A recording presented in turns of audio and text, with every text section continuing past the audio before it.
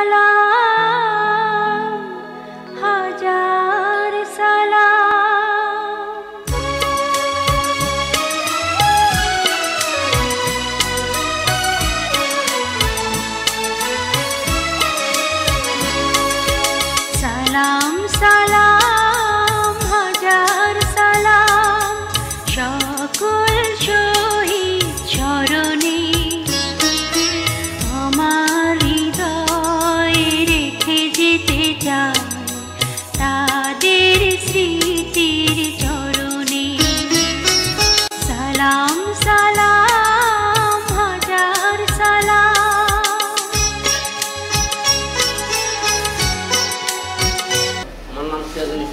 বাবার নাম হলো আব্দুল কাদের।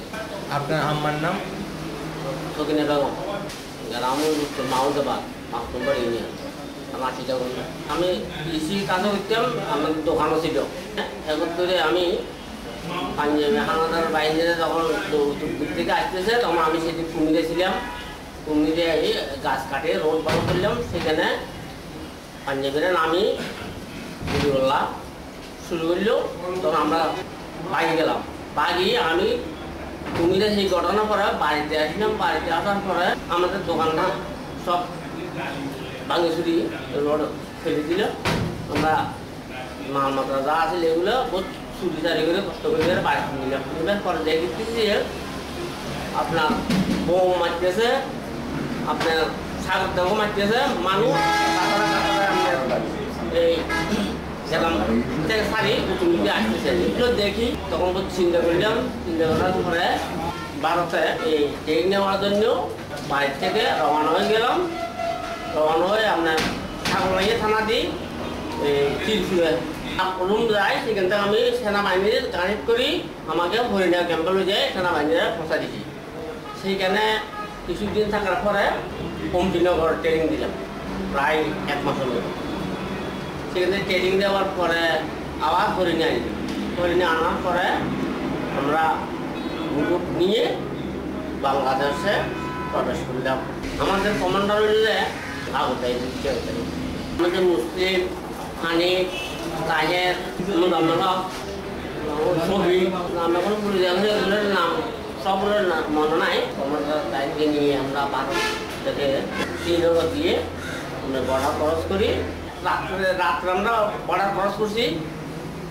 বর্ডার ক্রস করে মিরানঘাটে আসলাম শুরু বেল মানে সিক্সটি মাইল রুটের এই টাইমে এরা এক বাড়িতে মানে দেরিভাবে দাঁড়াহি তখন চতুর্দিকে পাঞ্জাবি ভাইয়ের আমাদেরকে যারা করে গুলি একদম, কারণ আমরা পজিশন নিয়েছি কেন, একদম আমাদের রেঞ্জ পুরো আসি গেছে। তারপর ওরা অর্ডার দিল, তারপরে আমরা গুলি আমরা গুলি শুরু করলাম। আমরা এক দিকে উত্তর পাড়া আমরা দক্ষিণ পাড়া হাজিয়ে দিলাম। তখন আমরা ফায়ার দিলাম, আর তারা স্টাফ করে দিল।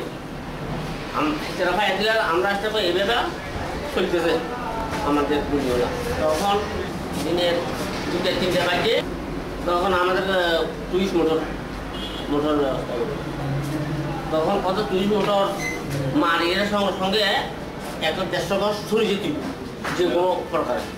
ফায়ারিং করার পরে আমরা প্রথম দিকে সরে গেলাম। তখন আমাকে দেখে পারি। তারপর আমাকে আবার ফায়ার দিল।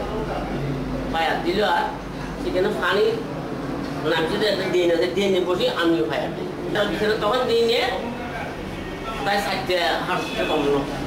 বেশ কিছুক্ষণ পর আমি পরিশোধে বসিলাম আল্লাহ যা কথা মূল্যিত মরে যাব বসে তারা আগল না, আমি আমি আর বেশি আগলাম না। কতক্ষণ পর তারা খাইয়া বন্ধ হয়ে যাওয়ার পর আমি পোলিং করি, অন্তত বহুত দূর পর্যন্ত পোলিং আসি, ওই বাঁচলাম বাঁচার পরে সেখানে একটা বাড়িতে আমাদেরকে এই খানা টানা রাখলে সবার খাওয়ার ব্যবস্থা করল সেখানে একটা একটা গুলি ফায়ার গেল হঠাৎ করি। ফায়ার গেলে পরে বাড়ির ভাই, আমি মাপ চাই, আমার বাড়ি খাই যেতে হিসেবে দেখতেছি যে তো বাড়িঘর জ্বলতেছে। লোকজন না এনে বাড়িঘর এনে জ্বলতেছে পাঞ্জাবিতে তালাই দিক থেকে গেছে। সেখান থেকে আবার দক্ষিণ দিকে আনা দিলাম। তখন সেদিন গেল, সেদিন একদিন পরে আসলাম, আমাদের সিলেন্ডার থানা আমার বাড়ি। আমি এটা প্রস্তুতি মিরেশ্বরী থানা। তখন আমি সিলেন্ডার থানা আসলাম, একদিন পরে আমাদের হাসপাতাল ইউনিয়নে কমিউনিটি সেন্টারে এই এলাকা আউটডোর বাহিনী আর আট নজন আছি। সেখান থেকে মতো নজন ফাইলগুলো আটটে বাঁধি ধরি আমরা নিয়ে গেলাম। আমি, আমার সাথে আরও দু তিনজন লোক নিয়ে আমাদের গ্রামে গেলাম। সেখানে দুইজন আছে সেই দুজনকে ধরে ওই যে ওয়ার্ডার আদা আছে, আদায় এই হাতের সাথে রইল যে মাইলে যে পঞ্চাশ সালে আমরা এই দুজনকে লই যে মাইলাম যে কুত্তা গেল থেকে মারার আমরা এই রাত্রে চলে চলে গেলাম। আমরা ডোমখালি খাল বলে একটা খাল আছে, ওই খালে এখানে আসলাম। তখন আমাদের সাথে সেনাবাহিনীর লোক ছিল, আমরা মুক্ত সেনা ছিল। তো আমরা খাল পার হয়ে চলে গেলাম চলে গেলাম বাংলার দিয়ে পাহাড়ের ভিতরে। পাহাড়ের ভিতরে সেই ক্যাম্পে বেশ কিছুদিন ছিলেন সেই সেখানে এই রাত দিনের বেলা সেক্ষেত্রে রাত্রে আমরা কেরামে আনতাম ওই এলাকা তারা আসলে এদেরকে ধরে নিয়েছেন নিজস্বরাই দোকানের অবস্থা সুবিধার মেতন আমাদের সাথে আমাদের এইখানে আসে আমাদের কিছু সেনাবাহিনীর লোক আছে এই এলাকাতে যেদের সাথে আমরা যুদ্ধ হয়ে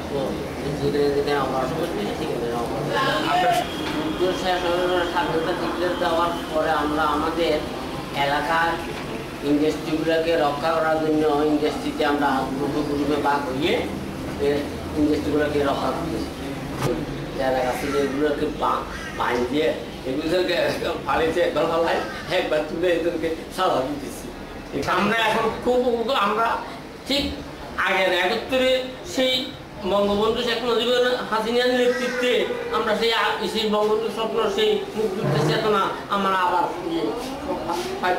তরুণ প্রজন্মকেও তুলে এখানে আমার ব্যক্তিগত আছে তরুণ প্রজন্মকে এগুলি দেখাতে হইলে, এগুলি শিখে শিখে দিতে হইলে সমাজে, গ্রামে গিয়ে তরুণ প্রজন্মকে বুঝাইতে হবে, মুক্তিযুদ্ধে যে কীভাবে দেশ স্বাধীন করছে, কীভাবে এই দেশ যুদ্ধ করছে, এগুলি তুলে দিতে হবে নতুন প্রজন্মের কাছে। তারা ইতিহাস সম্বন্ধে জানে না, এগুলো এখন জানবে।